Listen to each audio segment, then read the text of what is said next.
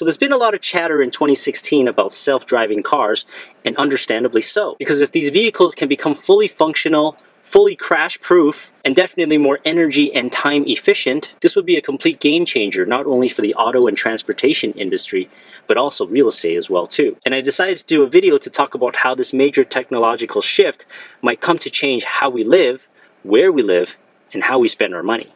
So here are four major changes I see happening that may come to impact the real estate market here in Toronto. Number one, outward movement. Similar to mass production vehicles in the 50s and the 60s, everybody started moving out into the suburbs. More so in the US than in Canada, but we definitely saw that impact as well too here in the 90s and in the early 2000s. And we're still seeing that here in 2016 because people with families, they want to live in safer communities with larger homes and more land. And typically when you live out there, you're definitely going to need at least one, if not two or three cars. And with GO Trains and TTC now having access to the suburbs in the 905 region, it's definitely still encouraging more people to live outside of the city. Now, we all know cars cost more money to own and maintain, but what I do know in speaking to some of my clients is they definitely do want privacy, reliability, and definitely a lot more freedom. Still have to deal with a hell of a lot of traffic. I mean, it'll probably be even worse than before. But at least the car can calculate the fastest route to take you there, and maybe it can drop you off and find a parking spot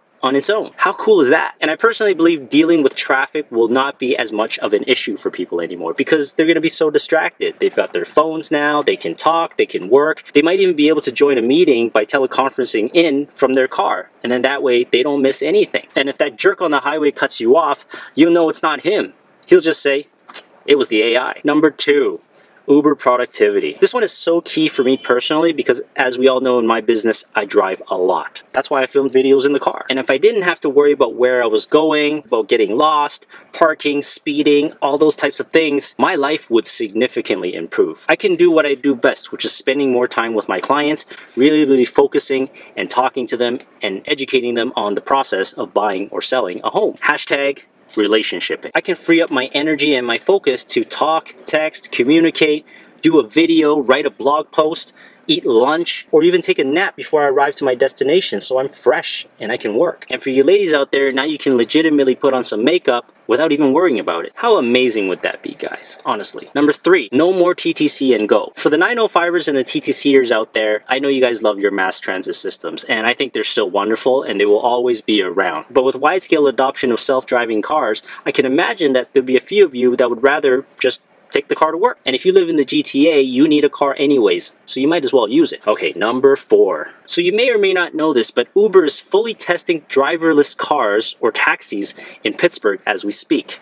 They're offering free rides to people just to test it out. But don't worry, they got engineers in the car that can help stop it if necessary. My guess is, and it's already happening, is there will be almost completely no necessity for having a car in downtown Toronto. It'll be easier, cheaper, and more convenient to actually use an app to order a car through Uber. And honestly, that's what I would do if I lived downtown, and even if I was showing property or seeing clients. Okay, now here's a bonus idea for you technophiles out there. So imagine you're coming from the 905 in your driverless car and you're going to work in the morning. It drops you off at work, but instead of going to park itself, you can designate the vehicle as an Uber vehicle for the rest of your workday. That way, you won't have to pay for parking. The car will be helping you to earn money while you're also at your job. And when you're ready to go home, it just comes and picks you up and takes you home. So not only is the car self-driving, but it's also self-paying. Get the hell out of here. Man, it doesn't get any better than that and that's an idea definitely worth exploring. So in conclusion, I don't believe self-driving cars will necessarily change things very dramatically here in Toronto, as people's appetite and demand for larger homes in the suburb communities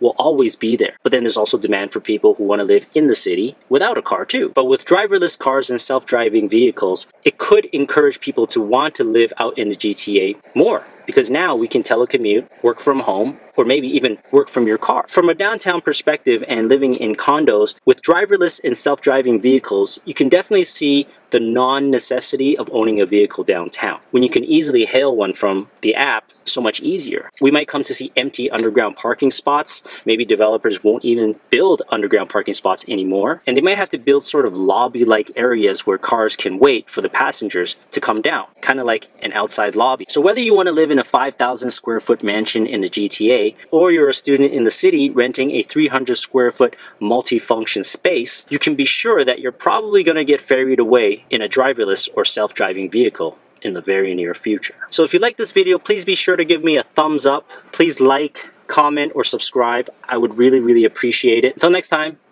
take care.